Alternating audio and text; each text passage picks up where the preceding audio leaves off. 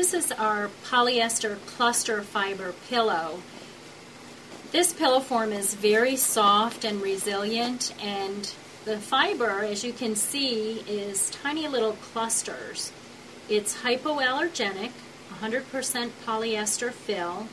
These pillows come in a variety of sizes, including bed sizes, and we also sell the fill in 10 pound bags. And what's so great about this is that it washes beautifully.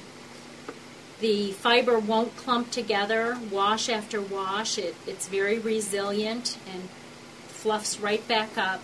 And you can also karate chop these pillows, so they really are a great alternative to down. This is our polyester cluster fiber. I'll show you a couple of pillows that I've made with the fiber. This is a custom size neck roll that I made with our cotton sateen lining. And this is a little 8 inch pillow. We don't have an 8 inch pillow form now, so I custom made this. You can see that it's very firm and plump, yet it's still very, very soft. I'll show you one other pillow. This is an oversized bolster that I made using this polyester cluster fiber. It took an entire bag, a 10 pound bag, to make this bolster.